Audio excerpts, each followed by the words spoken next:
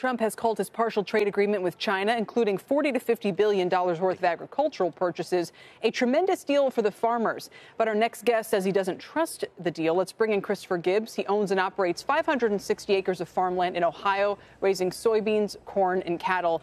Uh, Chris, welcome. It's good to see you. And you're saying you don't believe anything until the soybeans are on the boat.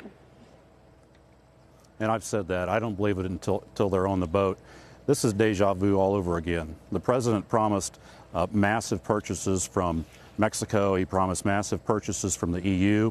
Um, he's now promised massive purchases from the Chinese, and he's done that before. But let's just think about this a minute. Let's somebody has to kind of speak truth to power here a little bit. Let's just think about this. We've been uh, selling 21 billion dollars worth of, of agricultural products to uh, China, and they're going to double that. Mm-hmm. And we don't even know if it's one year, two years, five years. We don't even know what the time period is. So I'm really dubious. And I hate to be a, a downer on this all the time, but, but, but somebody has to be practical. Well, and it, it's significant to note, and, and, correct me if I'm wrong, you voted for Trump in 2016. Uh, your farm spans two counties that overwhelmingly supported the president in the next election. As I understand it, you say you wouldn't support him now. Is that right?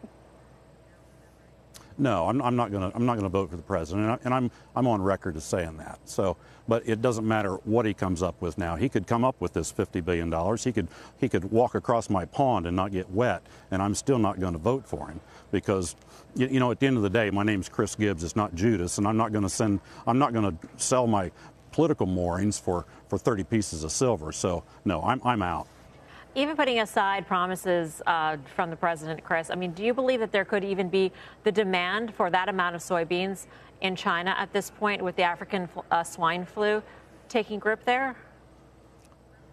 Well, and, and that's that's a great point because their their need for, for soybean meal and soybeans has decreased because, and we're not quite sure how much uh, their pork production has been been affected, but certainly their their need is less now they're going to buy those agricultural products from somewhere. And here's one of the other questions Are they going to limit sales from somebody else?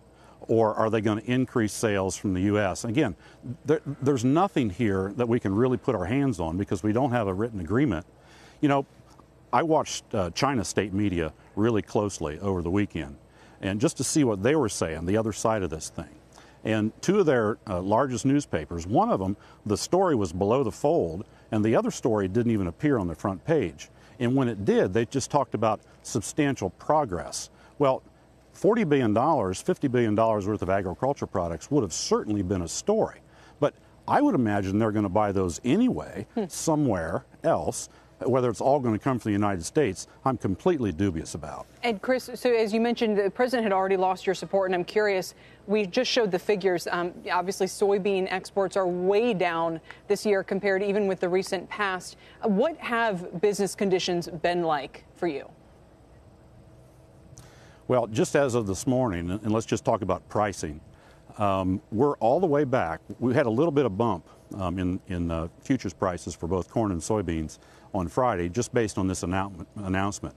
It was like the market nibbled on it. They almost bit. But over the weekend, then, prices started to go down. So uh, just with that bump, we came, oh boy, all the way up to the cost of production on soybeans. So we're still not making money, all the way up to the cost of production.